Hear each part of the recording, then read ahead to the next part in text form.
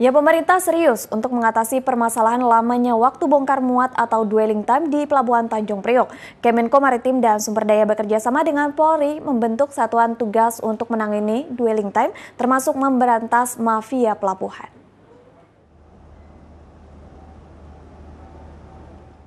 Rumitnya perizinan yang berlaku saat ini membuat waktu bongkar muat di Pelabuhan Tanjung Priok tidak efektif.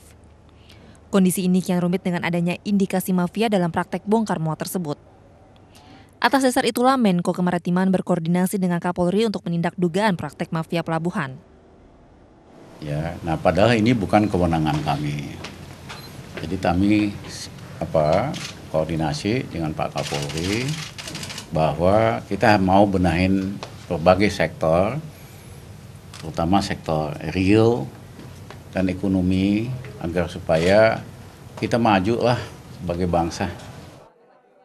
Sementara itu, Kapolri Jenderal Badrudin Haiti mengaku akan menugaskan perwira Polri dalam satuan tugas yang akan dibentuk.